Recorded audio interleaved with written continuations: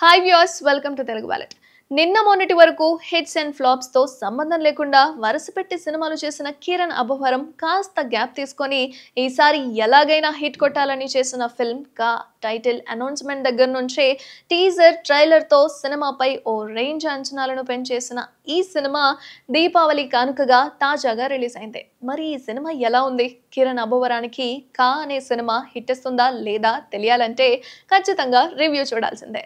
కా కథలోకి వెళ్తే అభినయ వాసుదేవ్ అలియాస్ కిరణ్ అభవరం అనాథ. ఎప్పటికైనా తన తల్లిదండ్రులు తిరిగొస్తారన్న ఆశతో జీవిస్తుంటాడు. ఇతరులు ఉత్తరాలు చదువుతూ వాటిని తన సొంత వాళ్ళే రాసుకున్నట్లు ఊహించుకుంటూ ఆ రాతల్లో తాను పోగొట్టుకున్న బంధాన్ని చూసుకుంటాడు. కట్ చేస్తే పెద్దయ్యాక కొన్నాళ్ళకు వాసు కృష్ణగిరి అనే ఊరికి వచ్చి అక్కడ కాంట్రాక్ట్ పోస్ట్గా ఉద్యోగంలో చేరతాడు. ఈ క్రమంలోనే post master Rangarao alias Achyut Kumar కూతురు సత్యభామ అలియాస్ నయన సారికతో ప్రేమలో పడతాడు. మరోవైపు ఆ ఊళ్ళో అమ్మాయిలు ఒక్కొక్క ఒక్కరుగా కనిపించకుండా పోతుంటారు. అయితే ఉత్తరాలు చదివే అలవాటున్న వాసుకు ఓ లెటర్ వల్ల ఈ మిస్సింగ్ కేసులకు సంబంధించిన క్లూ ఒకటి దొరుకుతుంది. అక్కడ నుంచి వాసుదేవ్ జీవితం సమస్యల్లో చిక్కుకుంటుంది. మరి ఊరి అమ్మాయిలు కనిపించకుండా పోవడానికి కారణం ఎవరు? వాసుతో పాటు టీచర్ రాధ అలియాస్ తన్వీ రామ్ను కిడ్నాప్ చేసి వేధించే ముసుగు వ్యక్తి ఎవరు? వీటన్నిటి మధ్యలో వాసుదేవ్ సత్యభామల ప్రేమ కథ ఏమైంది అనేది మిగిలిన కథ. అయితే ఇలాంటి కాన్సెప్ట్ ఇంతవరకు రాలేదు. అలా వచ్చిందని నిరూపిస్తే సినిమాలు మానేస్తా. ఇది ఈ సినిమా గురించి ప్రీ రిలీజ్ ఈవెంట్లో ఇంటర్వ్యూలో కిరణ్ అబ్బువరం చెప్పిన మాట అయితే ఈ మాటే దాదాపు నిజమైందే. సినిమా నిజంగానే యూనిక్గా ఉంది. దర్శకులు సుచిత్ సందీప్ ఎంచుకున్న కథ.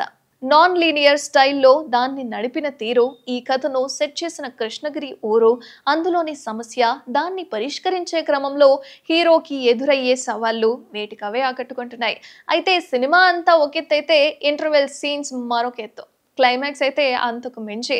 ఇంకో మాటల్లో చెప్పాలి అంటే ఈ రెండు సందర్భాల్లో సినిమా చూస్తున్న సగటు ఆడియన్కు బుర్ర తిరిగిపోయింది. పక్కగా కొత్త అనుభూతి అయితే వస్తుందనుకోండి.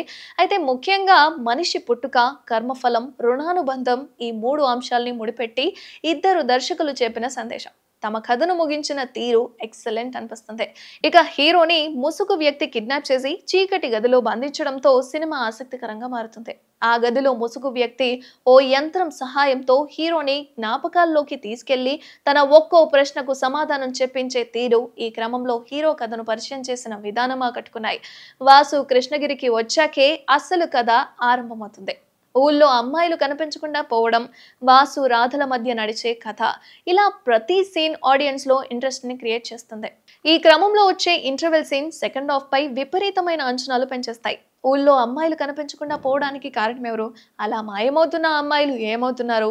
ముసుగు వ్యక్తి చెర నుంచి వాసుదేవ్ రాధ ఎలా బయటపడ్డారన్న యాంగిల్లో సెకండ్ హాఫ్ సాగుతుంది. ఈ మధ్యలో వచ్చే కోర్టు యాక్షన్ సీక్వెన్స్ జాతర పాట క్లైమాక్స్ ఫైట్ మాస్ ప్రేక్షకులకైతే కిక్ అందిస్తాయి. ఇక ఎగ్జాక్ట్ అక్కడి నుంచే పదిహేను నిమిషాలు కథ ఊహించని మలుపు తిరుగుతుంది. భావోద్వేగాలతో మదిని పరివెక్కిస్తుంది. ఇక ముగింపు ఓ కొత్త అనుభూతిని అందిస్తుంది. చప్పట్లు కొట్టించేలా చేస్తుంది. ఇది కిరణ్ అభువరం కే ను మలుపు తిప్పే సినిమా. అభినయ వాసుదేవ్గా కిరణ్ తన యాక్టింగ్తో ఆకట్టుకున్నాడు. యాక్షన్ సీక్వెన్స్తో పాటు ఎమోషనల్ సన్నివేశాల్లోనూ తనదైన నటనతో కట్టిపడేశాడు. నయన సారిక క్యూట్ లిక్స్తో ఆకట్టుకునింది. ఇక వీళ్ళిద్దరి మధ్య ఉన్న లవ్ ట్రాక్ మాత్రం యావరేజ్. నిజానికి ఇది పూర్తిగా దర్శకులు సుచేత్ అండ్ సందీప్ల సినిమా.